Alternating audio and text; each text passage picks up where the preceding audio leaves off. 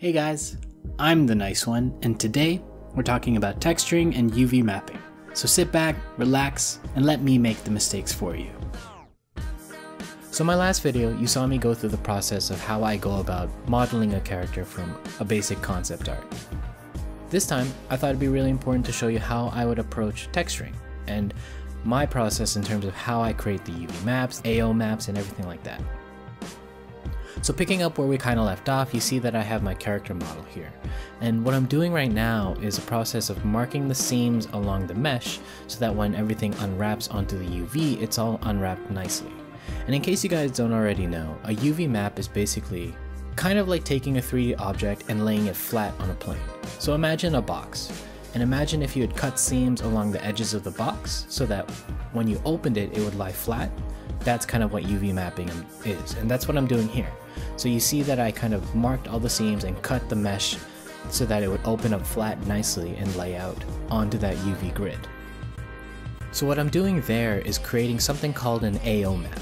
And basically an AO map stands for an ambient occlusion map, where basically your render will create black and white map of your character and apply shading to areas where they have overlapping faces and where shadows will likely occur based on your ambient lighting, your world lighting. So you see how I brought that ambient and that UV map onto Photoshop. I'm kind of cutting everything out so that each piece is its own individual layer in Photoshop so that I can color it separately and individually. And now what you see me doing is I'm correcting the AO map because some areas look like they created shadows where there weren't supposed to be shadows and that was likely because the mesh wasn't clean enough and that there was overlapping faces You'll notice that the character map actually also had a shadow along his chest, and at first I wasn't sure what that was, but actually, because I had hidden the layer showing the sword belt, it still calculates it when you're creating the AO map for that mesh, so keep that in mind. And now you go, you see me go through the process of texturing each individual piece. Instead of combining them all into one mesh, I decided to kind of keep them as their own separate pieces and then combine them later because I thought it would be easier to create mesh paints for each one as opposed to having to put everything onto a single UV map and then figure out which one's which. So that's what I'm doing here. And the textures I'm painting here are super simple color overlays with some shading and highlight. But you can do some amazing work by overlapping Photoshop filters, pre-made textures, and texture painting to achieve that really nice stylized look and feel. But for this case, I decided to keep it simple. Another a tip I have for you guys is when you're creating your UV maps, Try and make your meshes as simple as possible and try to, try to remove any and all unnecessary faces because unnecessary faces will cause shading that doesn't have to be there and, and you might have to correct it later in Photoshop.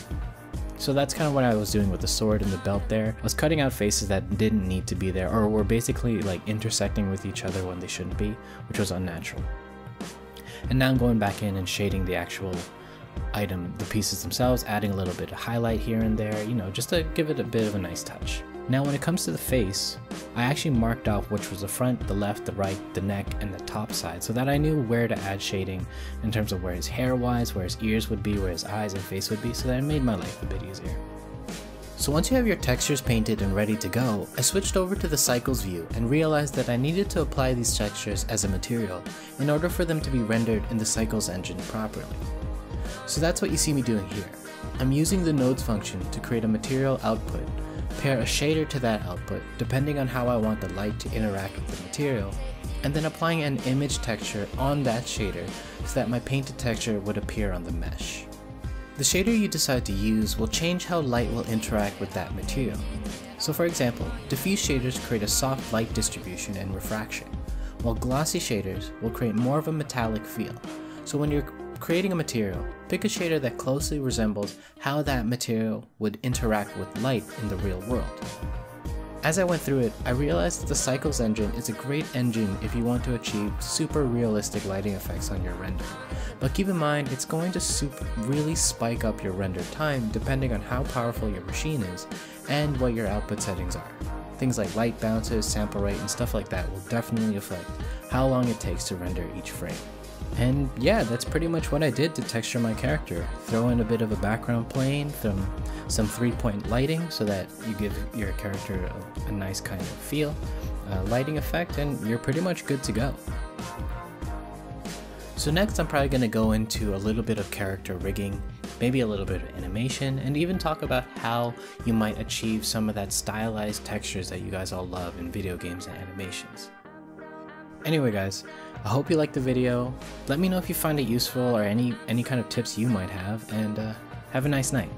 I'll talk to you later.